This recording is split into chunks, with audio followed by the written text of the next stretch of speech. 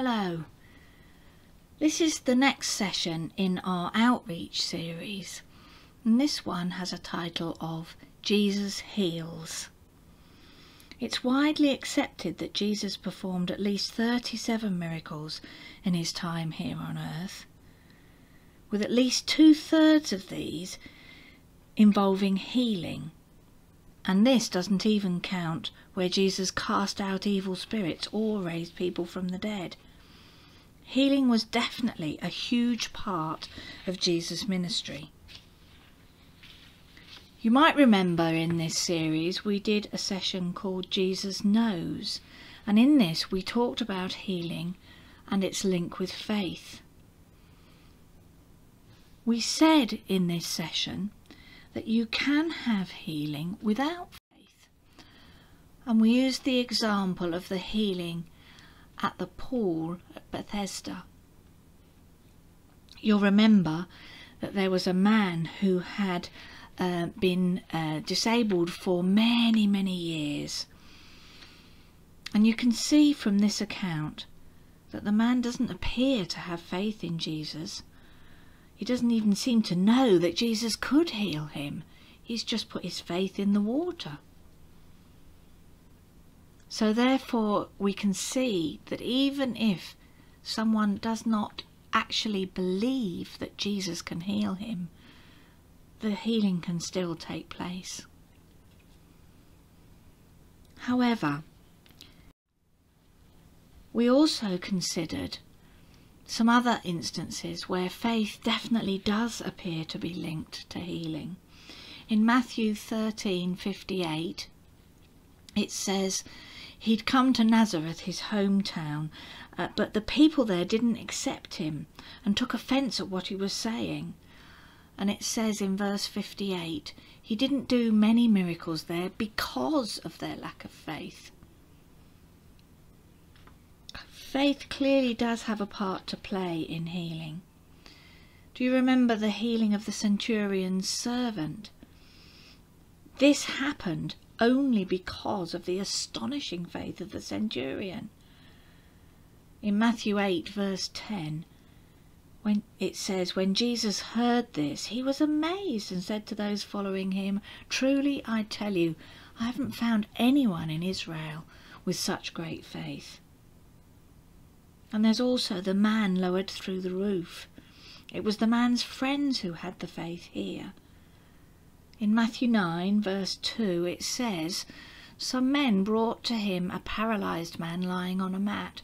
When Jesus saw their faith, he said to the man, Take heart, son, your sins are forgiven.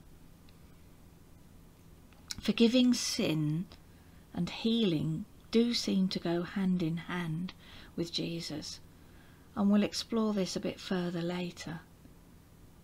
But the faith of the men definitely had a part to play too in this story.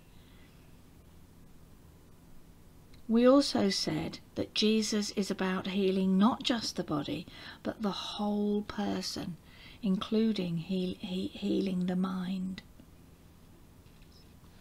There's a very interesting account in Mark's Gospel about the blind man who was healed at Bethsaida. In verse 22 it says, They came to Bethsaida, and some people brought a blind man and begged Jesus to touch him. He took the blind man by the hand and led him outside the village. When he'd spit on the man's eyes and put his hands on him, Jesus asked, Do you see anything? He looked up and said, I see people. They look like trees walking around. Once more Jesus put his hands on the man's eyes. Then his eyes were opened, his sight was restored, and he saw everything clearly. I wondered why it was necessary to heal this man in two stages. We know Jesus could easily have done it all in one go. He'd done it before, after all. We're not told this man had faith or was even asking to be healed. Perhaps healing him in this way was for the man's benefit. Perhaps Jesus was slowly and in small steps building his faith and building his belief. This shows us how Jesus relates to people, how he understands people, how he deals with us gently. I think Jesus is showing us here that healing is not just about the ailment or the bodily condition. It's bigger than that. We also said that it is the power of Jesus that heals and not the power of faith. We know that Jesus sent out his disciples to spread the gospel and to heal. And if we follow that through and accept that we are his disciples today, then why wouldn't we today be called, through the power of Jesus, to spread the gospel and to heal? Another important factor about healing is if we fully accept that it is God alone who heals and not us, then we're free from believing that healing rests on our faith, but it entirely rests on God's goodness and we know that we can trust God's goodness. Certainly, there are many accounts all over the world of Jesus healing people today, and we'll talk about one such account later. Sometimes Jesus healed simply because people asked him to.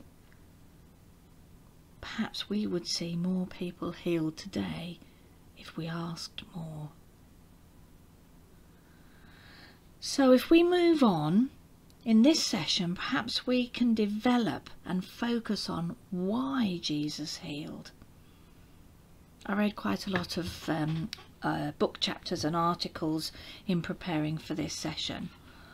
And I read um, an article by um, somebody called Don Stewart, and he suggests there are a number of reasons why Jesus healed. He suggested Jesus healed to fulfill the Old Testament prophecies of the coming Messiah. In Matthew 12, it says, Aware of this, Jesus withdrew from that place.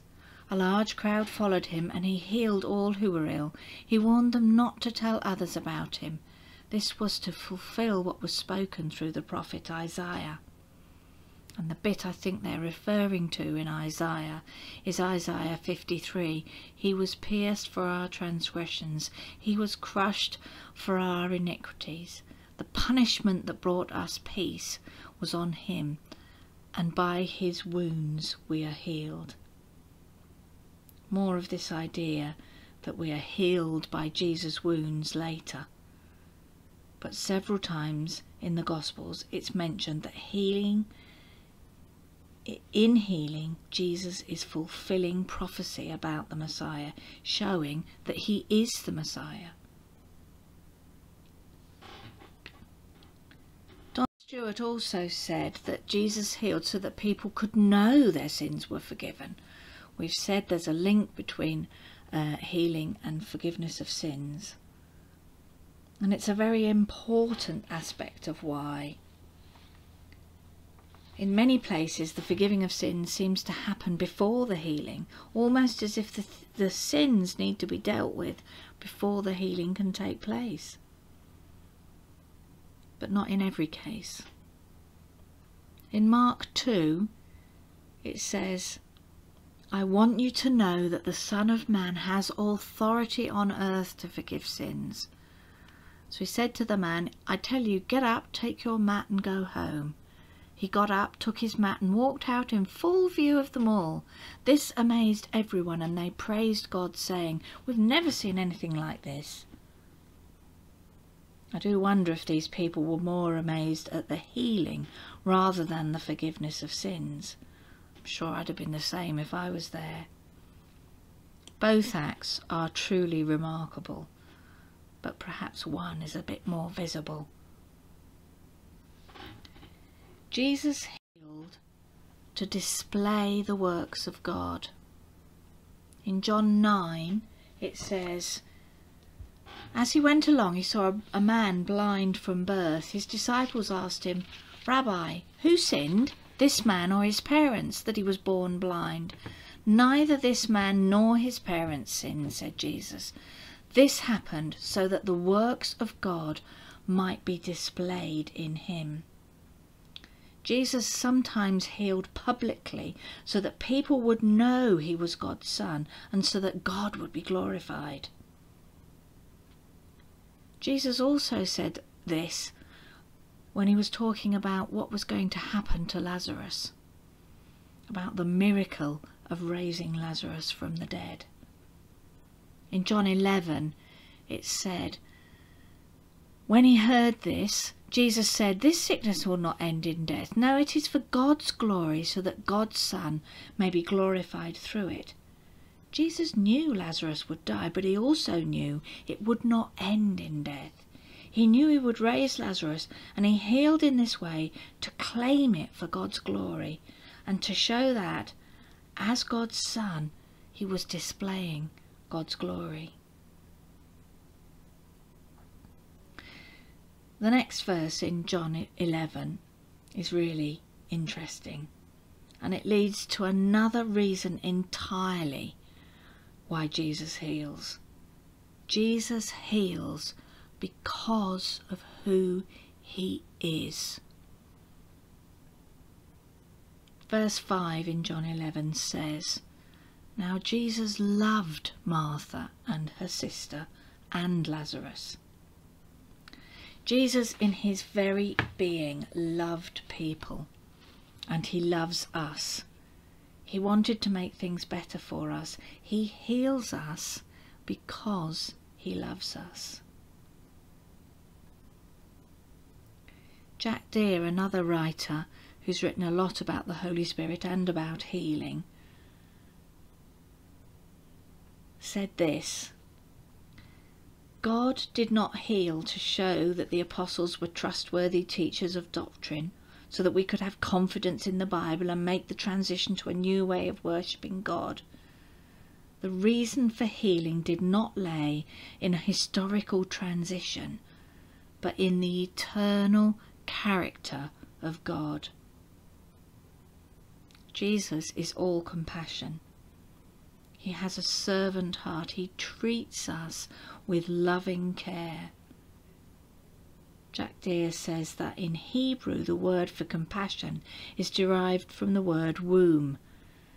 God feels about his people the way a mother feels about her unborn baby. She has tender longings for that baby and would die to protect her child.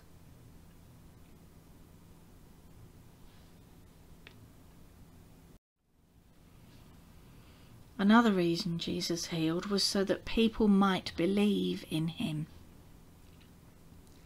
In John 4:48, Jesus says, "Unless you people see signs and wonders, you'll never believe." And in John 20, 30 to 31, it says Jesus performed many other signs in the presence of his disciples, which are not recorded in this book. But these are written that you may believe that Jesus is the Messiah, the Son of God, and that by believing you may have life in his name. Don Stewart says that's why many of the miracles Jesus performed are called signs. They were signposting people towards Jesus. Healing in this context was saying, This is Jesus. This is the Messiah you've been waiting for. And if you accept him, if you believe in him, you're going to have life like no other in his name.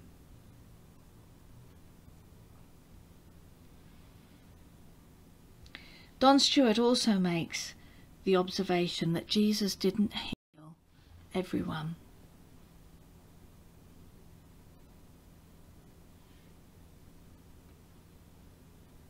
He wouldn't heal on demand. He refused to heal when the Pharisees asked him to in Matthew 12, and he didn't heal or perform a miracle when Herod wanted him to in Luke 23. At the pool of Bethesda, as we said, there were a large number of people there who, who were blind or lame or paralysed, but it's recorded that Jesus only healed one of them. In Mark, we're told that in Capernaum Jesus had healed Simon's mother in law and many, but not all, sick and demon possessed people. But after, just after this, in Mark 1, we're told that very early in the morning, while it was still dark, Jesus got up, left the house, and went off to a solitary place where he prayed. Simon and his companions went to look for him, and when they found him, they exclaimed, Everyone is looking for you! Or perhaps, Everyone is looking for you to come and heal them. Jesus replied, Let's go somewhere else, to the nearby villages, so I can preach there also. That is why I have come. Here again we're pushed towards the overarching why. Jesus came to save us. Healing can be part of that, but his whole purpose was to die for our sins so that we could be reunited or united with God. I said that I was going to talk to you about an account of a healing that took place recently. And it invo in involves a man called Darren Carlson, who was a, a youth worker from the US. I'm just going to read you what he said. January the 12th, 2019, was just another day in pain for nearly four years my body had betrayed me.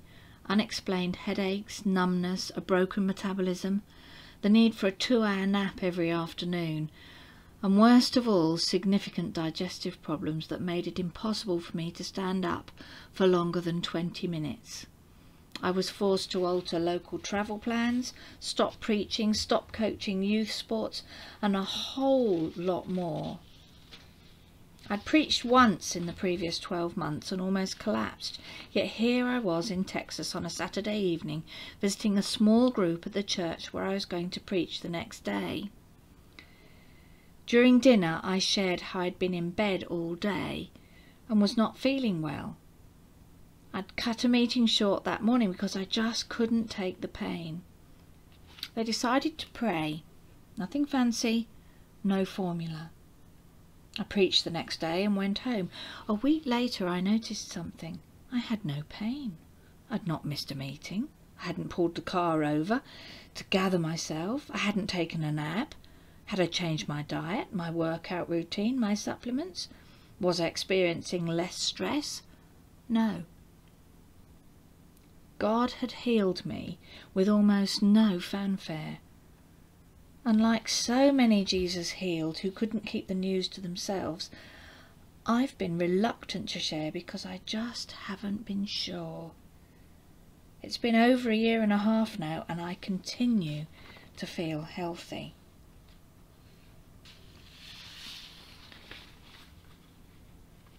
Craig Keener, in his defence of miracles, spends a considerable amount of time reporting on healings from blindness, the lame walking, and people being raised from the dead. I've seen many such miracles in the context of my missions work. None of them has come from healing ministries, but from church communities and gospel advancing work where God displays his power. I knew that no purpose of God could be thwarted. I knew Jesus had all authority. I knew he understood my pain. So why was I hesitating to talk about my own healing? A few reasons come to mind. Many Christians probably pray for healing more than for the salvation of loved ones who don't know Christ. Charlatans also steal money from God's people, claiming the ability to heal. In addition, while we certainly pray for healing, we are hesitant to acknowledge it when it happens, fearful of being like the false teachers we all know. But there are also two other more complicated reasons that warrant at least some caution as I celebrate this work of God. The first one is the healing was not from everything. Lazarus was raised, but he died again later. Same with Eutychus. There were others who were healed, but there is no indication that the healings were total. They were just a taste of things to come. My body has been restored and I have been able to work without interruption. But in the past year I've had the flu, been tired, had a bad reaction to food. In this life, all physical healing is temporary. We will all be buried and we will all be raised. I will get sick again, maybe even with the same illness that plagued me for years. Future glory is coming.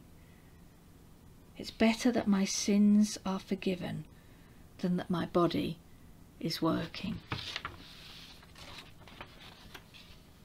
The second reason is that faithful friends have been sick in the meantime.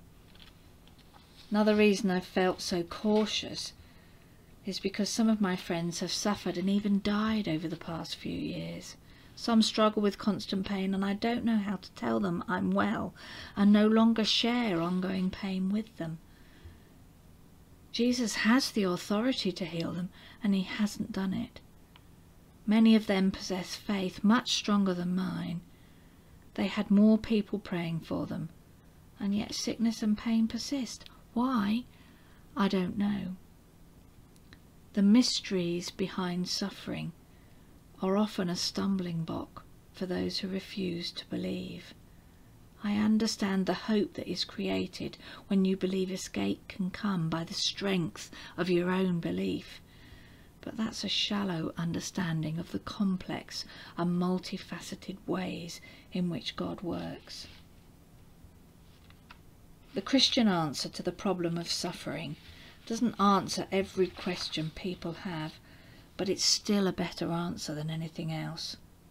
Jesus Christ experienced suffering in the flesh, is able to relate to us, and took the burden of the wrath of God on himself. Because of his sacrifice, we have an inheritance laid up for us that is imperishable.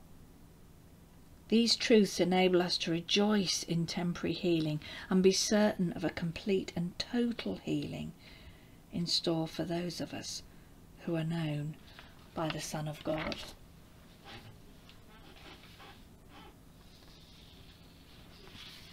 This account struck me as being very honest and very real and very relevant. John put together some references for each of these sessions. And for this um, this session, he put references to the centurion's servant and the man lowered through the roof, both of which we've mentioned. But he also put this reference 1 Peter 2:24 He himself bore our sins in his body on the cross so that we might die to sins and live for righteousness by his wounds you have been healed for me, this verse is the crux of what I believe God wanted me to share this morning. We hinted at it earlier. The ultimate why of Jesus' healing ministry lies in his death and resurrection. If Jesus hadn't died, we would not all, every one of us who chooses him, be healed of everything in this life in order to enter into new life and finally into heaven. We said earlier that Jesus healed when he intended to. He focused on that person. He knew that person. He gave them his full attention. He was interested in them. He looked into their hearts and he understood them. Everything about healing points towards Jesus' primary, ultimate goal to die for us on the cross, to save us, so that we could enter the kingdom of God here and now and for eternity. We only need to believe who he was. We only need to acknowledge our sins, our pain, our inability to sort ourselves out, if you like. We only need to accept his love, and through that, and in the power of the Holy Spirit, the love of God the Father. Then we will start to understand the purpose the desire, the perfection of eternity, where we'll be with God, with Jesus our Saviour forever. In summary, Jack Deere said a few statements about healing that are very much in the context of healing today. God heals to lead people to repentance and open doors for the gospel. God heals to teach us about himself and his kingdom. God heals to demonstrate the presence of his kingdom. And God heals for sovereign purposes known only to himself. And I repeat what you said earlier. None of these reasons are based on the historical circumstances of the first century. They are rooted in the character and eternal purposes of God. I'll leave you with this photo. Earlier in the week we went to Mount Grace Priory and this is the statue that's in the ruined chapel.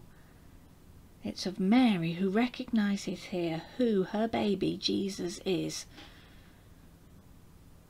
It acknowledges that he has come to save us and die on the cross. Mary appears to be offering Jesus back to God to fulfill all the promises God made.